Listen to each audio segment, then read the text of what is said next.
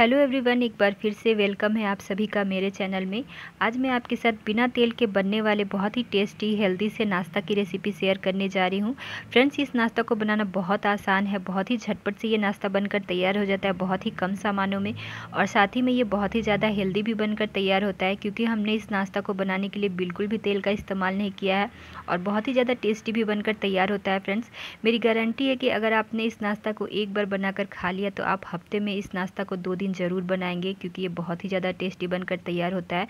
तो फ्रेंड्स चलिए इस बहुत ही टेस्टी हेल्दी से नाश्ता को कैसे बनाना है देख लेते हैं।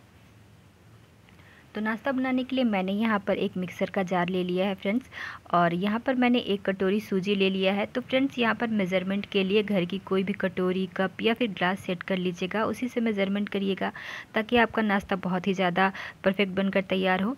और यहाँ पर आप मोटी वाली, बारीक वाली किसी भी सूजी का इस्तेमाल कर सकते हैं क्योंकि हमें इसे ग्राइंड करना है। अब मैंने यहाँ पर आधा कटोरी चूड़ा ले लिया है। तो फ्रेंड्स, हमने जितना सूजी लिया है, उसका आधा हमें चूड़ा लेना है। तो यहाँ पर आधा कटोरी चूड़ा हम इसमें डाल देंगे। साथ ही में हम इसमें एक कटोरी दही डाल देंगे। तो फ्रेंड्स, अगर आप फ्रेश दही का इस्तेमाल करेंगे तो आपका नाश्ता बहुत ही ज़्यादा बढ़िया बनकर तैयार होगा। और अगर आप थोड़ी सी पुरानी दही का इस्तेमाल करेंगे तो थोड़ा सा खट्टापन आ जाएगा आपके नाश्ता में। तो कोशिश करिएगा कि फ्रेश दही का इस्तेमाल करें। अब हम इसमें थोड़ा सा पानी डाल देंगे। लगभग दो से तीन चम्मच पानी मैंने यहाँ पर ऐड कर दिया है। बहुत ज़्यादा पानी नहीं डालेंगे, क्योंकि हमें इस बैटर को बहुत ज़्यादा पतला नहीं करना है। अब हम इसमें स्वाद के अनुसार नमक डाल देंगे। साथ ही में यहाँ पर आधा छोटा चम्मच चीनी डाल देंगे। चीनी ज़रूर डालिएगा फ्रेंड्स, इससे बहुत ही बढ़िया टेस्ट आता है हमारे नाश्ता में। और अब हम इन सभी चीज़ों को ग्राइंड कर लेंगे। तो यहाँ पर आप देख सकते हैं फ्रेंड्स, अच्छे से इसे ग्राइंड कर लिया है और एकदम फाइन पेस्ट बनाकर तैयार कर लिया है सभी चीज़ों का। तो अब हम इसे एक बॉल में निकाल देंगे। अब जो ग्राइंडिंग जार में पेस्ट लगा हुआ है, उसमें पानी डालकर उस पेस्ट को भी मैंने इसमें ऐड कर दिया है। तो फ्रेंड्स, ध्यान रखिएगा, बहुत ज़्यादा पानी नहीं डालना है। मैं आपको बार बार इस बात को बोल रही हूँ, क्योंकि इसे बहुत ज़्यादा पतला नहीं करना है हमें।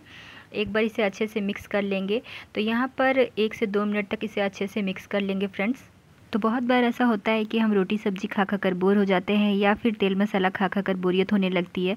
तो फ्रेंड्स, आप इस नाश्ता को बनाकर तैयार कर सकते हैं, जिसे बनाने के लिए हमने बिल्कुल भी तेल मसालों का इस्तेमाल नहीं किया है। साथ ही में बहुत ही ज़्यादा हेल्दी भी बनकर तैयार होता है और टेस्टी तो बहुत ही ज़्यादा लगता है ये। तो फ्रेंड्स यहाँ पर आप देख सकते हैं, इसे मैंने अच्छे से फेंट लिया है और यहाँ पर आप बैटर की कंसिस्टेंसी देख सकते हैं फ्रेंड्स तो इसी तरह का बैटर बनाकर हमें तैयार करना है। बहुत ज़्यादा गाढ़ा और बहुत ज़्यादा पतला इसे हमें नहीं रखना है। अब नाश्ता को बहुत ही ज़्यादा सॉफ्ट और जालीदार बनाने के लिए हम इसमें एक छोटा चम्मच इनो डाल देंगे फ्रेंड्स तो यहाँ पर इनो डालने से बहुत ही बढ़िया नाश्ता बनकर तैयार होता है। बहुत ही ज़्यादा सॉफ्ट और बहुत ही ज़्यादा जालीदार बनकर तैयार होता है हमारा नाश्ता।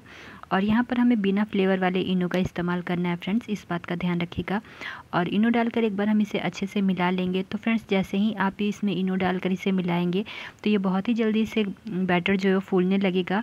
और आप देख सकते हैं बैटर जो है बहुत अच्छे से फूल गया है। तो इसे हम अच्छे से एक बार मिक्स कर लेते हैं। और यहाँ पर नाश्ता बनाते समय एक बात का ध्यान रखिएगा फ्रेंड्स कि बैटर तो आप पहले से बना कर रख सकते हैं, लेकिन इनो आप तभी डालिएगा जब आपको इसे पकाना हो। इनो पहले से डालकर नहीं रखिएगा। और यहाँ पर आप देख सकते हैं फ्रेंड्स बहुत ही बढ़िया सा बैटर बनकर तैयार हो गया है। बहुत अच्छे से मैंने इसे मिला लिया है। अब इसे पकाने के लिए मैंने गैस पर पैन गर्म कर लिया है। अब हम कलछी में एक कलछी बैटर लेंगे और इसे एक ही जगह पर डालेंगे फ्रेंड्स फैलाते हुए नहीं डालेंगे। ये बहुत अच्छे से शेप ले लेता है। तो यहाँ पर आप देख सकते हैं, एक कलछी बैटर डाल दिया है। और शुरुआत में गैस का फ्लेम हाई रखेंगे देंगे और थोड़ी देर के बाद हम गैस का फ्लेम मीडियम टू लो के बीच कर देंगे और मीडियम टू लो के बीच ही हम अपने नाश्ता को पकाएँगे। तो यहाँ पर आप देख सकते हैं फ्रेंड्स धीरे धीरे इसमें जाली बनना शुरू हो गया है। तो आप देखेंगे कि जैसे जैसे ये पकता जाएगा, इसमें बहुत ही अच्छा सा जाली बन जाएगा और इसके ऊपर की लेयर जो है वो ड्राई हो जाएगी। तो जब इसके ऊपर की परत ड्राई हो जाएगी फ्रेंड्स तो हमारा नाश्ता बनकर तैयार हो जाएगा और पकने के बाद ये बहुत अच्छे से पैन को भी छोड़ देता है फ्रेंड्स। तो यहाँ पर आप देख सकते हैं, बहुत अच्छे से ऊपर से ये ड्राई हो गया है, बिल्कुल भी इसमें चिपचिपापन नहीं है। तो हमारा नाश्ता नाश्ता बहुत अच्छे से पक गया है फ्रेंड्स तो अब हम इसे निकाल लेंगे। और नाश्ता जब बहुत अच्छे से पक जाता है फ्रेंड्स तो बहुत ही आसानी से ये निकल भी जाता है। और आप देख सकते हैं कितने आसानी से ये निकल गया और आप देख सकते हैं फ्रेंड्स, इसके अंदर की जाली कितना बढ़िया हमारा नाश्ता बनकर तैयार हुआ है। एकदम जालीदार बनकर तैयार हुआ है, बहुत ही ज़्यादा सॉफ्ट, बहुत ही ज़्यादा जालीदार। तो मैं आपको एक बार इसे पलट कर भी दिखा दे रही हूँ। तो यहाँ पर आप देख सकते हैं कितना बढ़िया कलर आ गया है इस पर। तो इसी तरह से हम बाकी के नाश्ता भी बनाकर तैयार कर लेंगे।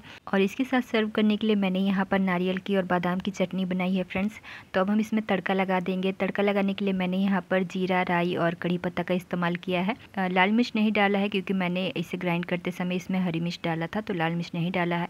तो वैसे तो आप इस नाश्ता को अपने पसंद की चटनी के साथ सर्व कर सकते हैं फ्रेंड्स लेकिन ये नारियल और बादाम की चटनी के साथ हमारा नाश्ता बहुत ही ज़्यादा टेस्टी लगता है। तो यहाँ पर आप देख सकते हैं फ्रेंड्स हमारी बहुत ही टेस्टी सी चटनी भी बनकर तैयार है। तो फ्रेंड्स अगर आपको इस चटनी की डिटेल रेसिपी चाहिए तो मुझे कमेंट करके ज़रूर बताइएगा। मैं आपके साथ इसकी डिटेल रेसिपी ज़रूर शेयर करूँगी। तो अब हम नाश्ता को सर्व कर लेंगे फ्रेंड्स तो यहाँ पर मैंने नारियल की और बादाम की चटनी ले ली है। साथ ही में थोड़ी सी इमली की चटनी भी सर्व किया है।